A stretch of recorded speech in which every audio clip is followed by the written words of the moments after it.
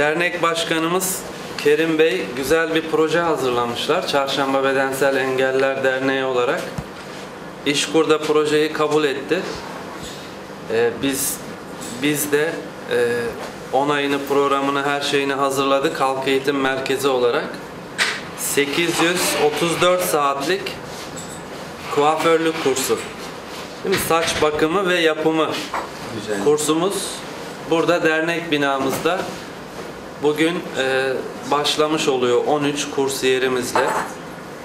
Bu bir işkur, Çarşamba Bedensel Engeller Derneği ve Halk Eğitim Merkezi İşbirliği kursu olarak geçiyor. Güzel bir kurs. 13 tane kursiyerimiz, vatandaşımız yararlanacak. Ve kurs süresince de e, İşkur'un imkanlarından yararlanacaksınız.